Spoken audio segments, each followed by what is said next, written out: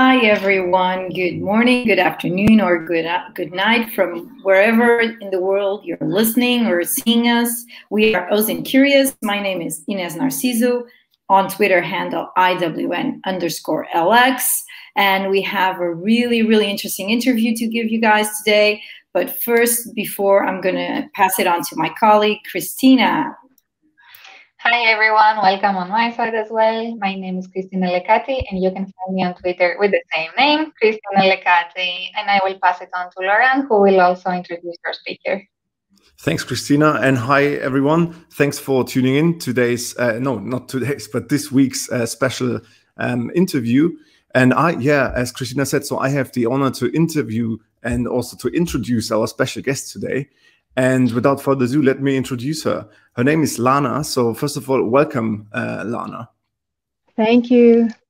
Hi, so, everyone. Lana, uh, so, Lana, she is an analyst at a German law enforcement agency, and she has uh, lots of experience in the realm of OSINT, especially uh, social media intelligence. And her work work focuses primarily on identifying uh, threats and also working in the context of extremism and uh, slash uh, terrorism, if that's correct. And uh, I'm really looking forward to this episode because I've got loads of questions and also because it's one of the topics I'm very interested in. So hopefully this is also something uh, that our listeners are interested in. Uh, so before I come to the first question, Lana, uh, again, thank you so much for taking the time and talking to us. And without further ado, let me just start off with question we ask everyone on this show, which is basically, what is your story? So how did you get into open source intelligence? And perhaps you can also touch upon, you know, uh, the work, how you kind of like came into contact with open source intelligence, specifically in the law enforcement context. Sure. Um, thank you very much for inviting me. It's a big uh, honor for me and I can answer your question. It's the answer is pretty unspectacular. So I was I came from academia. I was uh, I studied languages and criminal law, and I was almost ready with my PhD. And um, I was reading job postings and. Uh, my PhD was pretty hard, so I wanted to do something fun and exciting. So um, I thought um, the posting was really interesting. They were searching for an internet analyst for the police. Um, and it sounded excited, but uh, exciting, but I was pretty sure that I had no uh, chance to get this job. But I decided to apply and try my luck, and um, I was invited for the job and for the job interview, and so I did some tests. And after some months, I received a call, and they told me I'm in. And since this time I am in in this job and working for the police. Now that's that's interesting. So uh, that went also fast, I would say. Like, so you applied for a job, and a couple of weeks later you got it in. Uh, it's very exciting. So when, when you compare this, yeah, a couple of months.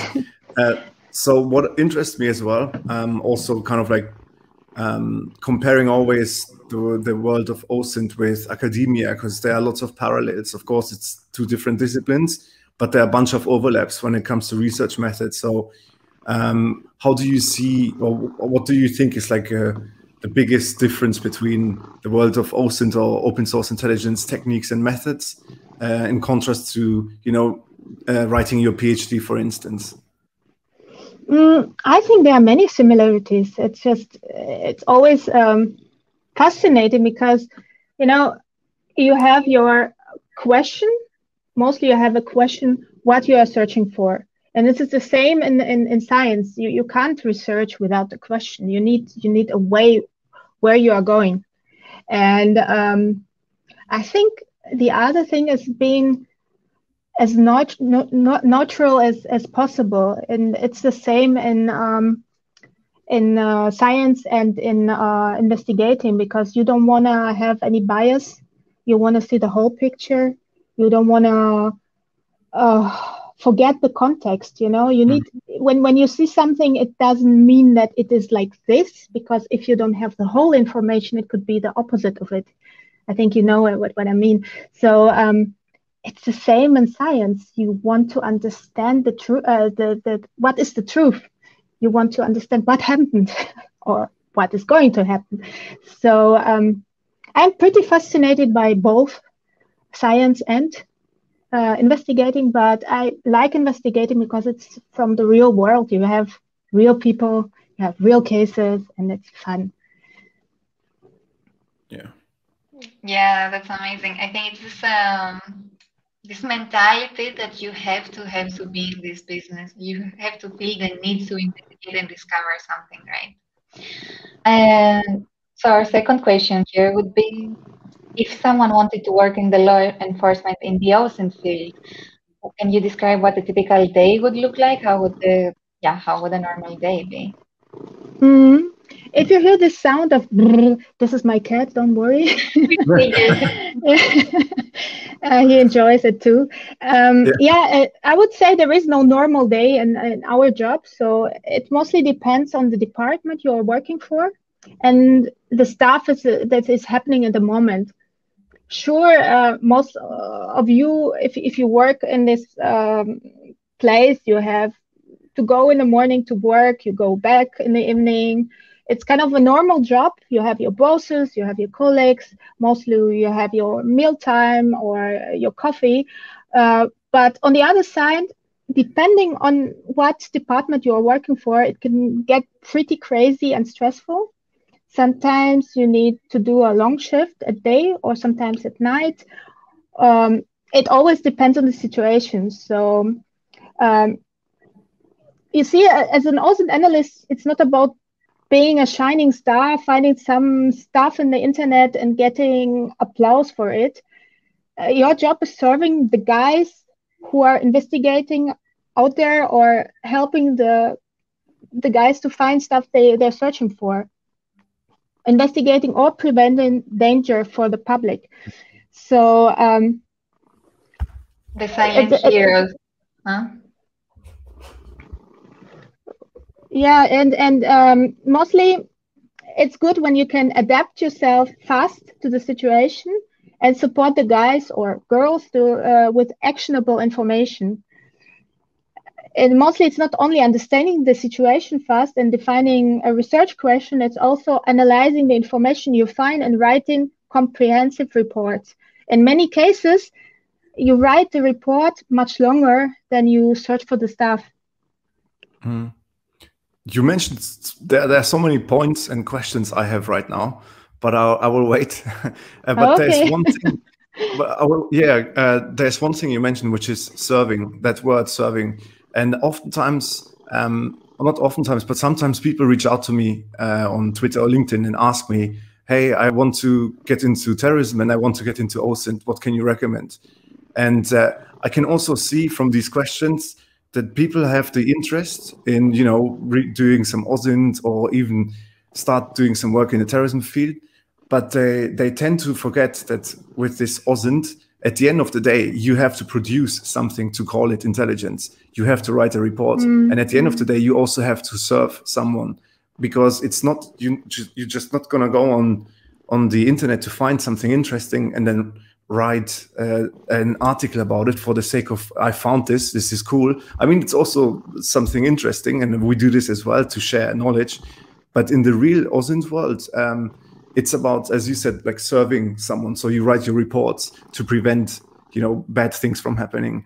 And uh, mm-hmm. can you elaborate on this? Because I find this very interesting and also very important to highlight that you know yeah. OSINT is created or is produced through going through the intelligence cycle and how much time do you actually have in a typical normal uh, working day to really do like the cool stuff that we all like to do geolocations and you know go on social media and find all this interesting stuff like can you tell us a little bit about mm. how much work you spend or how much time you spend on these fun things and cool things we always talk about and how much time do you actually write reports and do the kind of like administrative work which comes along I, I can't tell you the uh, um, numbers, or, or, I can tell you uh, 30 minutes this and 30 minutes that, but um, it always depends on the case.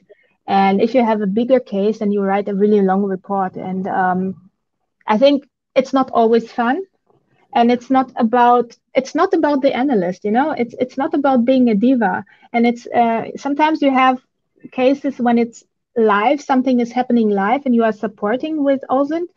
And in this case, it's also not being a diva or being in the middle of the attention. It's about your purpose, about your mission. You are you are searching for stuff that is needed in this moment, and um, I think that the danger is is because it's fun. You think it's some. You have the. Uh, you think it's some kind of a game, you know? It's just a gamif- gamification of searching. But in real life, you have real people, you have real um, crimes, you have real situations are, which are dangerous, and people getting injured. And um, I think you need to be professional, not to get too involved with your ego. Put your ego outside and care for your job, you know, because you don't have the time sometimes. Sometimes it's get, it's it's really fast. Sometimes it's long. Sometimes it's fast, but um, it's not a game. Uh, you need to think of the people you are investigating and the people you are trying to protect. So um, that's why I'm always uh, thinking, yeah, guys, it's it's nice and it's it's fancy being an OSINT analyst, but it's not about you. It's about your uh, occupation and your information that needs to help the other people who are working with it and uh, mostly it's people who are making decisions. And maybe they are the heroes and not you. So it's not about being a hero. It's about serving like you said. Serving yeah. I don't want to preach. I'm sorry. um, it's important to to be here that because ego gets in the way of a lot of professions, and this is definitely a profession where it shouldn't be because it is a position of service, especially with law enforcement, and time is very limited at times. So it's good that this is heard. Yeah, you need sometimes to listen to people. Sometimes you are wrong. Sometimes you need to um, rethink stuff and um, listen to some suggestions. And if you if you are not um, uh, if you can't work with critic, then you have a problem. Sometimes you write a report and somebody is correcting your report and says, no, you can't say all this. And, it, and this is the process where you are learning to be a good analyst. So, um, yeah, but I don't know everything, you know, it's, it's my opinion. It, maybe it's some no, no, other. Yeah, absolutely. I mean, it's also our opinion. So, Lana, you were speaking about um, biases and how we need to be aware of our biases to to to be a good analyst. And this will be even more important in, of course, in law enforcement, where you have such a responsibility in what you are writing and reporting on. So, my my question would be, what in a day-to-day basis, what are the biggest challenges that you are facing uh, in this particular environment when you're doing uh, OSINT uh, operations? Mm-hmm. As an OSINT analyst, you have usual OSINT research problems. For example, the fast-changing techniques in, uh, of your targets, um, getting more. Um, your targets are getting more and more masked and covered your target migrating from one platform to another. Um, as Nico said one time, uh, sometimes you see stuff that you can't unsee. So um, if you are watching some really brutal stuff, you need to be careful because um, sometimes you don't feel it at the moment, but you could dream of it or you can feel it some days later. So be careful what you are watching. There are some techniques not to be that exposed, maybe not hearing the sound, putting the sound off, or not he- uh, doing it alone, uh, not alone in a dark room, but uh, with colleagues, or maybe talking about what you've seen. So, uh, thinking of your uh, psychological health is a good thing. I think so. I, I don't think that everybody thinks like this, but i think it's not a problem if you say i don't want to see it or or it's not mm-hmm. it's my my my border. I don't want to see uh, children dying or something. I, I wouldn't um, digest as well. And it's okay because we are humans you know? And um, but mostly you look at this stuff because you have a mission and you know why you are watching it. So i don't watch stuff which is really really brutal for if I don't need to. But if I have a question that I need to answer, then I will do it because it's my job, you know. And um, yeah, um, what was I talking about? Brutal stuff, yeah. And uh, you have legal boundaries, and um, you have uh, some ethical questions you need to ask yourself. And if you look at the police work in Europe, you have very different laws, and it certainly concerns OSINT investigations. Um, it depends on how much money your authority also it depends on how much money your authority invests in online investigations and OSINT um, questions like how many analysts do you have in your team or how good is your software and hardware? And if you ask me i would always prefer a better and smarter analyst than a better software or a better um, artificial intelligence or something because i think mostly it's the human mind and the will the curiosity the will and the creativity um, which is a game changer in our OSINT research and what I also wanted to say it's um, sometimes it's hard with the communication with your investigate investigators or your police guys, your officers. It can be also a challenge. You need to listen and try to understand how you can help him or her with OSINT. Sometimes they don't know what is possible, so you need to explain it to them. And um, if the situation is very exciting and everybody is getting really excited, so you need to calm down and try to understand what is needed from your perspective as an OSINT analyst and what makes sense. Um, and it doesn't make sense uh, to search faster and uh, more nervous uh, to do it more fast if you don't know or you have no clue what you're searching for. So yeah. try to understand where do you want to go and then so, do it. For, I, for... I, should I? Yeah. Uh, basically, I wanted to state here that what you said that you need to be level-headed, that you need to be aware of uh, your thoughts and of your mental state, because uh, when when your mental state gets affected, your mental health, if you see something really rough and you cannot uh, sleep, let's say for two nights, uh, but also um, you develop this um, instinct not to say something like that again or not to process this information, it also affects your analytical process and it also affects the intel part, I guess. So mm-hmm. I really like that you pointed out and that you said that as an analyst, especially in law enforcement, you need to watch out of your mental health and also to control emotions when something is extremely exciting um, because it affects the, the end product, the intel work. That's what I want yeah. to comment. Mm-hmm. I think you, you can't really listen to the questions. You can't understand the situation if you're too excited. So if everybody is freaking out, you need to calm down because you don't know what you're going to do. Because uh, yeah, okay, I can freak out, but what is the question? What what I'm searching for? So like, what do you want from me? and um, yeah, you are laughing, but it's it's normal. You, know I know. Uh, slow like be slow, like in slow motion, say, "Yeah, I listen to you. Tell me what is the problem," and um, don't freak out because it doesn't help. I, I also wanted to ask because you touched upon so many interesting points, like you mentioned software solutions, but before we maybe talk about this, um, if someone wanted to, you know, get started in this world, apply for a position at the police, law enforcement, wherever, and work as an OSINT analyst, what key characteristics should that person have? So, how what do you say? Like, if you were to choose an analyst or recruit someone, what would mm. you look hmm. for? You know, and I see that sometimes in, in authorities, the people are having some categories category uh, what somebody studied like he studied this so he is this kind of person and he studied or she studied that but if I get somebody in my team, I don't care what he studied. I, I care what he can do or she can do, what languages he or she speak, on what, what skills do they have, and uh, mostly the curiosity, the the drive. You know, somebody if somebody has a drive, you, you can't force somebody to have a drive. You can't force somebody to have fun searching.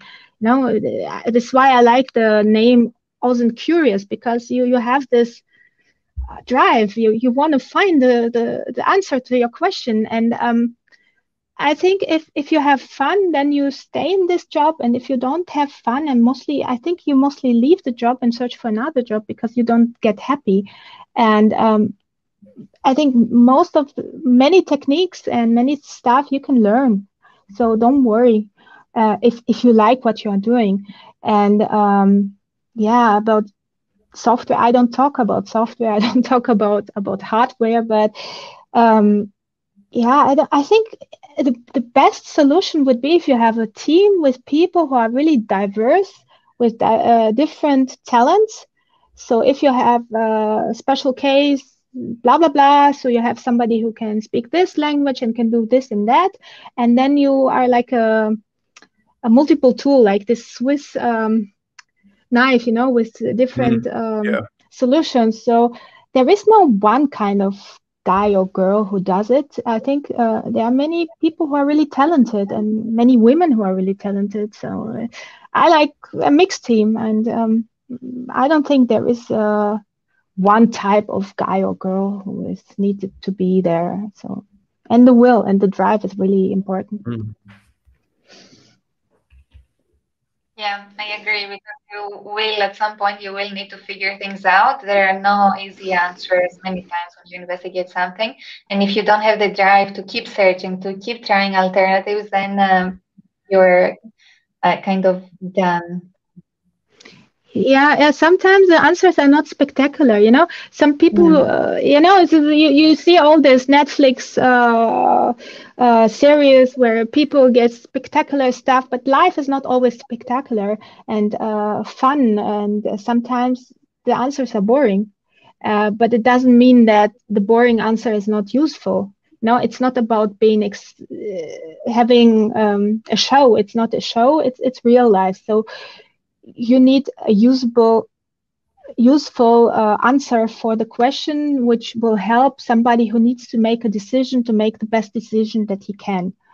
And um, yeah and people have some uh, romanticized uh, um, uh, image of an analyst. Uh, you see all these guys with fancy suits and uh, you know and sometimes they are hacking stuff and i think most of the stuff that you see I, wouldn't be even legal so um, hmm, i don't want to do illegal stuff i'm sorry so yeah. um, yeah like it doesn't make sense working for the police yeah. and making illegal stuff it's, it doesn't make sense for me but okay but but you know it's one is show and the other stuff is just real life but it doesn't mean that it's not interesting i think mm. sometimes things that are not spectacular sometimes also interesting.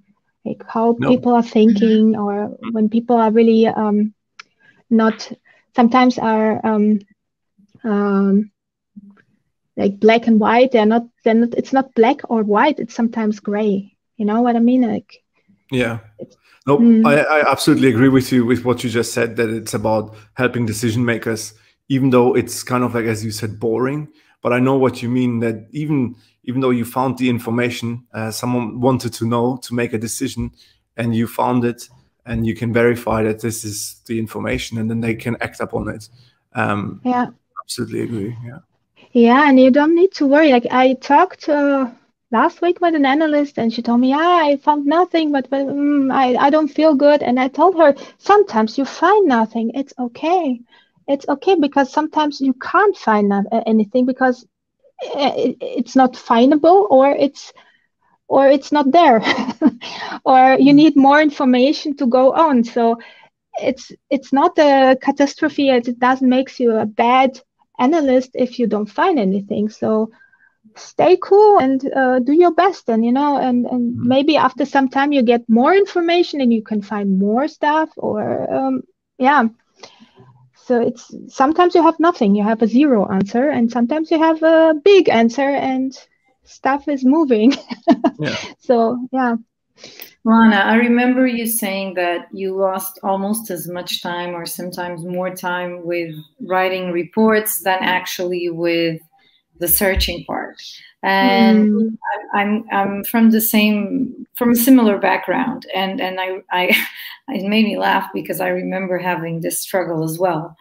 And I was wondering is this one of the challenges that we as OSINT analysts may have in the future is how to make it uh, like information? How can we we get information to people who need to make these decisions get it faster or get it into paper faster or should we start to use other methodologies like video or or uh, like oral briefing or what what are the, what do you think is how do you think things are going to develop? Because people have less and less time to read so this is mm. how I feel. On one side, people have less and less time to read, but on the other side, as you said, it's there's a lot of responsibility in these mm. uh, briefings. So if it's said or if there's any chance of some misinterpretation, then also things when they are in writing, it's much easier to make it clear. Like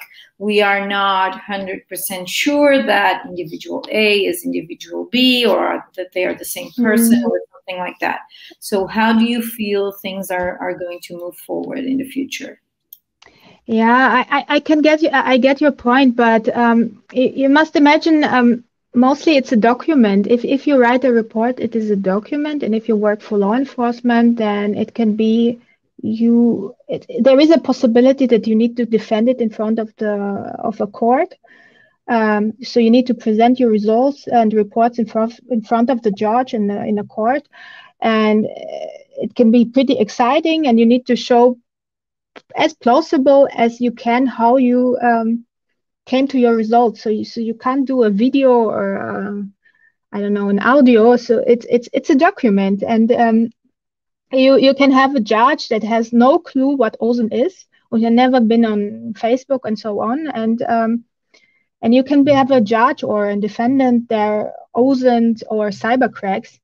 And um, sometimes you you need to talk about cases that are which you, you work about uh, you worked on it uh, one year ago. And so if you don't document it well and if you don't write long reports you may forget it yourself. So um, documentation is key and um, and you don't want to embarrass yourself in front of the court like uh, is stupid analyst. And on the other side you don't need to take stuff personally uh, that happens in the court. Uh, it's not about you as a person it's your function as an analyst. And um, it could happen that the defendant will try uh, to question your competence. And um, if he can't re- or she reject your results maybe it's also a good uh, sign because if the results are good, they try to um, question your competence. Uh, but it's it's only a game, so you need to prepare yourself good. But if you have a live situation, then uh, you you can report on an, another way. But um, if if it's an, a real investigation, it's a document, and you need this document. The judge needs the document, and the court needs the document, so you can't skip it. So be careful, document everything, make it look plausible. So even the judge who is uh, the oldest uh, grandpa who never been in the internet, he needs to understand how you come from A to B to C Mm-hmm. And this is a problem with tools because if you say, "Oh, I pushed this button and uh, I had this result," uh, it, uh, the judge will will ask you, uh, "But how do you know that this is real?" Yeah. You you need to uh, prove how you came to this result.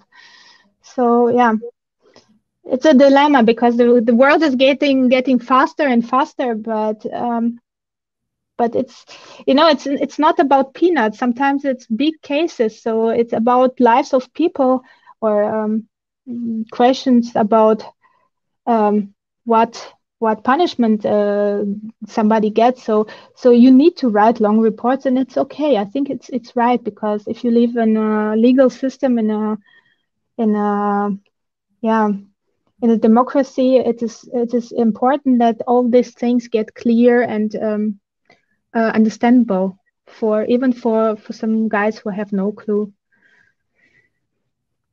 Yeah, yeah very good points. I hope I don't preach again, but no, it's, trust me, it's so interesting and it just keep thinking of so many different things but obviously also we don't have just the time to talk about everything but there's so many mm. interesting and very good points uh, you made honestly Thank you. Welcome. Well, I hope I answered the question. Uh, so, what's your question? About about this is an interesting topic about how certain tools, and this is something very particular of law enforcement as well, uh, are very non-transparent about how they reach their results. And besides the ethical and law privacy issues that every country has and and yours as well it's quite interesting or at least it's sometimes it's frustrating and we what i would like to hear your opinion on why these some of these tools don't make it more transparent on the way they reach a result so on the way they connect, for example, data, or also on the way that algorithms work and how suggestions work. Um, so I was wondering uh, what your thoughts are on, on this. Mm. I think it's a question for the developers of the software or the tools because I think you need always to make things plausible. And I suppose they are getting, they are understanding it because um, they see how how it works and you need you need to you need to explain how you came to your results because you you are living in a in a state of law and you mm. need uh, to make it plausible but um, how they are making it and what thoughts they are having. I think there are so many tools and they're so international and they're coming from so different law um, uh, systems. So you know it's everything everything in OSINT is so global. It's so hard to to tell uh yeah what what is right and wrong. But i, I can only think of my legal system and um, how it would be legal. And it, it is so important that it is legal and it is ethical. And um, yeah what they are thinking i, I can uh, ask, uh, i can say please make it transparent because if it's not transparent you have a problem in front of the court. Just as easy as that. So yeah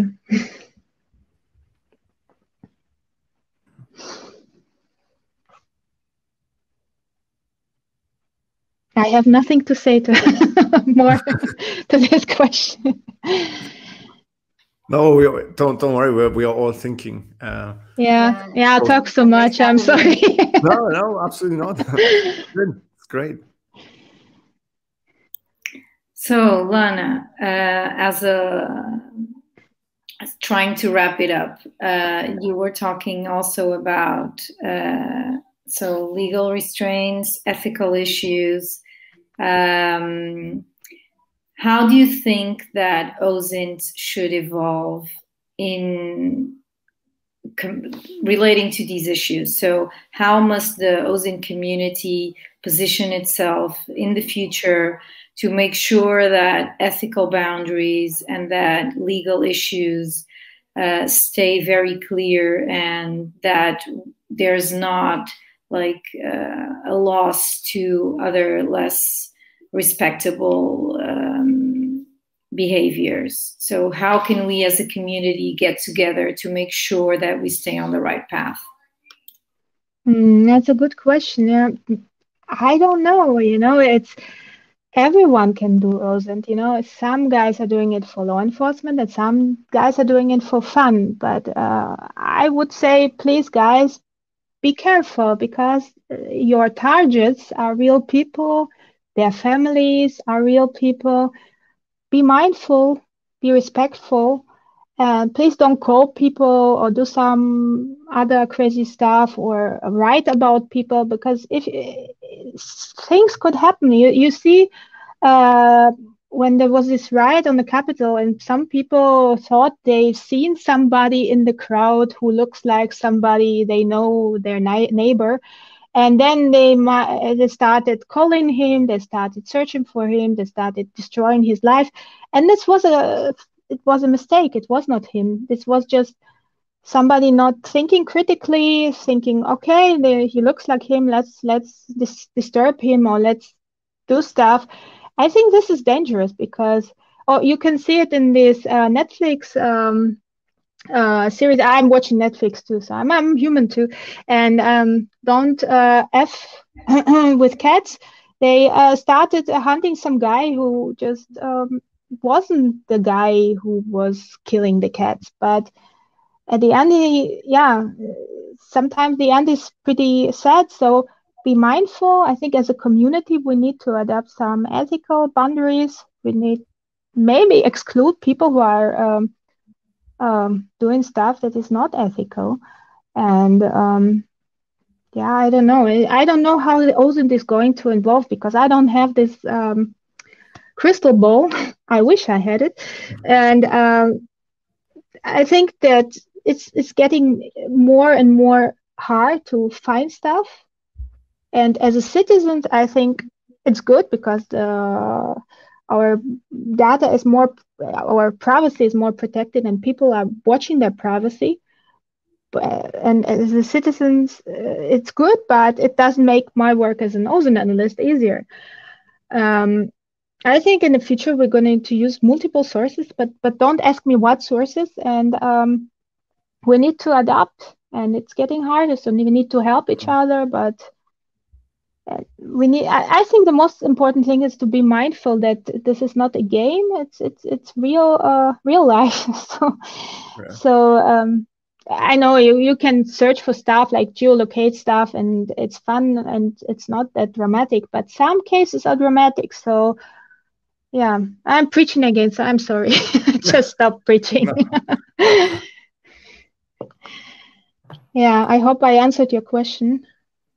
You did, and I think we should uh, keep doing these conversations that we are doing in our interviews, in our webcasts as well, uh, between us in the industry, because in the end, we do, in some sense, we do shape the future of OSINT as well, and we do discuss ethics between us, which is important, even though there is mm-hmm. no real legislation yet in some areas, but there are some gray areas still, but Mm. Yes, it's uh, it's it's um, when some something is technically possible, it doesn't mean it's legal and it doesn't mean it's ethically right.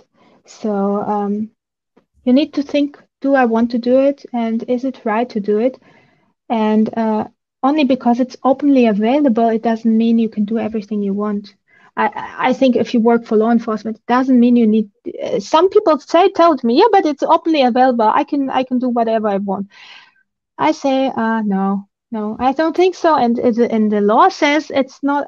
I, I know what you mean. There is a, a lot of gray, uh, um, gray matter because it's it's really new. As the laws are pretty old and the OSINT is pretty new, and it needs to adapt to each other, and it takes time.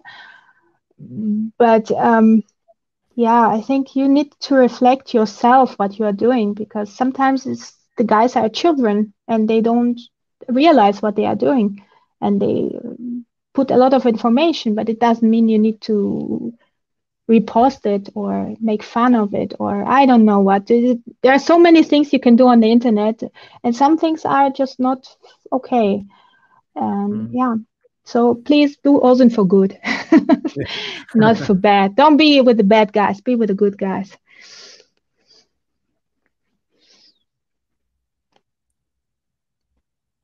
Okay, cool. Then uh, I think uh, that's it for for this interview. Um, so we wanted to again thank you very much for coming on the show and sharing us uh, with us uh, your story of how you got into OSINT um, and also how it looks like when working, you know, for law enforcement, what you do on a daily basis and what challenges you face. So I, I think we heard lots of very interesting things, and we also take lots of input from you, and uh, it made me think as well about lots of different things. And I think we we have to continue these discussions, um, as Ines and Cristina also mentioned about around ethics, the legal boundaries, and uh, mm. so many other mm. important points, but also on you know how we evolve or how OSINT evolves and what we should do, um, you know, to to help this or to sh help shape the uh, this evolvement. Um, there's one last question we ask everyone, so you can uh, just give a quick answer, which is basically about what you would like to learn. Um, you know, uh, so what's the next thing you would love to to learn if you had time?